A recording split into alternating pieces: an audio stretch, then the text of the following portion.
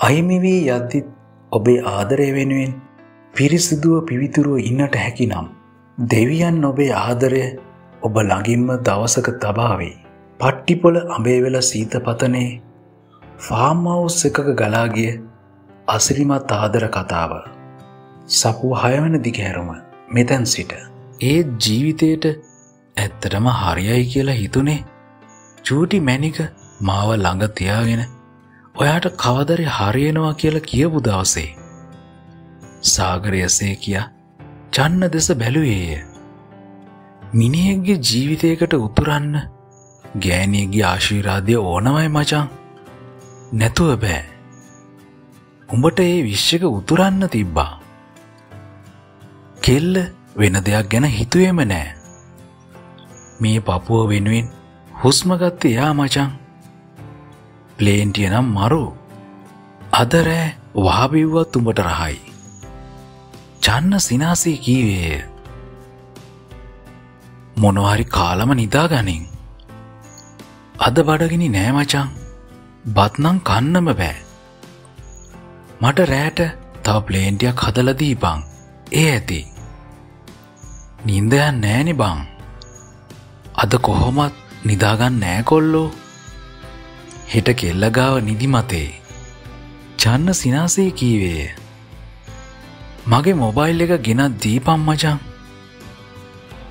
කෙල්ල නිදිනේ හැරෙනවනෙ මචං. ඒකි නිදාගන්න නෑ මචං. මන්දන්න ඇද්ද මගේ ගෑනි ගැන. චන්න සාගරගේ ජංගම දුරකතනය ගෙනවිත් දුන්නේය. සාගර දුරකතනයද ගෙන වත්ත පහලට ගියේය. මාලිගාව පෙනෙන තැනට වී ඔහු සපුට ඇමතුමක් ගත්තේය. මං ගන්නත් අදල ගත්තේ නෑ. කෙල්ල හුරතලින් කීවාය. ඇයි මට ගන්නකොට හරි සතුටුයි. එහෙනම් ගිදරටම වෙලා ඉන්න. මන් දිගටම ගන්නම්. එතකොට මේ බඩේ ඉන්න පැටියට තාත්ත කෙනෙක්කෝ. ආමහත්තයෝ ඇය අහන්නේ ඕනි ප්‍රශ්නය ඒවාට උත්තර නැත. මොනාද කරන්නේ? අම්මයි තාත්තයි සීයයි එක දැන් වෙනකල් කතා කර කර හිටියා. මෙච්චර රෑ වෙනකල් මොනාද කතා කළේ? එයාලට මේ කවුද හොඳ බෑන කෙනෙක් ලැබෙන් යනවලුනේ? එයා ගැන මන්නං අහං හිටිය විතරයි. හොඳ බෑන කෙනෙක්ද? ඕ මේ සාගර කියලා කෙල්ල කියන්නේ පද්දමනි. පොර හොඳයිලුද? ඔය කියන්නේ හොඳයි කියලා දුව කැමති නෑ අපරාදේ මගේ වෙඩින් සූට් එක ගහනවමං විහිළුවක් කලාම එහෙම කියනවද? සාගර සිනාසුනේය. සාගරයියේ. ඇයි අම්මා? ඔහු කතා කළ විදියට කිල්ලට සිනාව නවත්තා ගන්නට බැරිවිය අනේ එහෙම කතා කරන්නකෝ. මංහරි ආසයි. හොඳයි මගේ අම්මා. දෙන්නම සිනාසුනේ එකටමය. පුදුමයි නේද? මොනාද? අපිට බඳිනවයි කිව්වම මටනන් තාම හිතාගන්න බෑ. අපේ හීනේ හැබෑ වෙලා ඉවරයි චූටිමැනික හෙට රෑ ඉතින් පැයක් දෙන්න ඕන මට. මොකටද? වඳින්න. සබෝ කියද්දි සාගරගේ පපු ඇකිලියගෙන ගියේය.